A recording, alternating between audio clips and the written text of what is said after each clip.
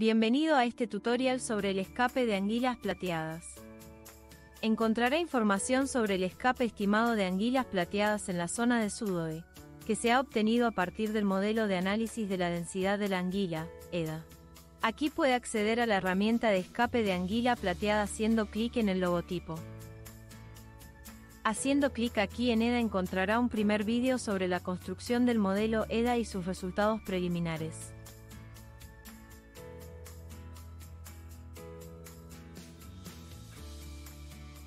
Para consultar el número de anguilas previsto por el modelo EDA, debe seleccionar la escala espacial, el año y el indicador deseado.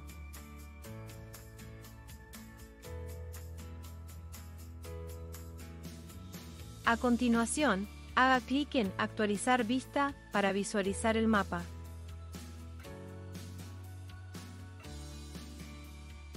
Para ver la definición de los diferentes indicadores, puede hacer clic aquí en el botón I.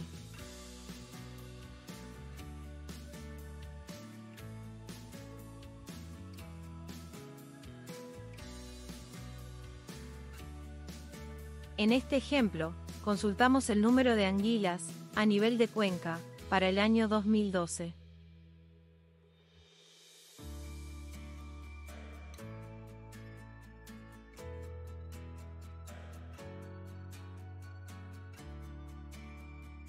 Haga clic en el botón Actualizar vista.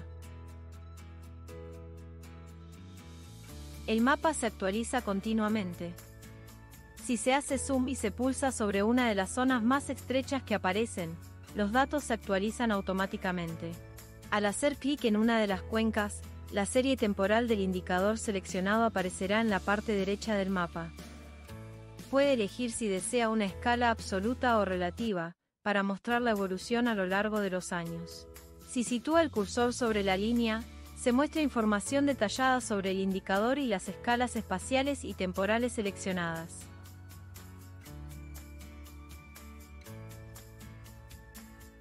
Al pasar el ratón por encima aparece una barra de herramientas. Puede utilizarla para modificar las características del gráfico o descargar los datos en forma de PNG, aquí.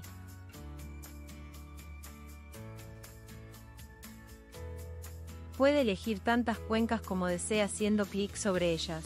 Cada una de las cuencas está representada con un color diferente. Vuelva a hacer clic en una cuenca seleccionada para eliminarla del gráfico.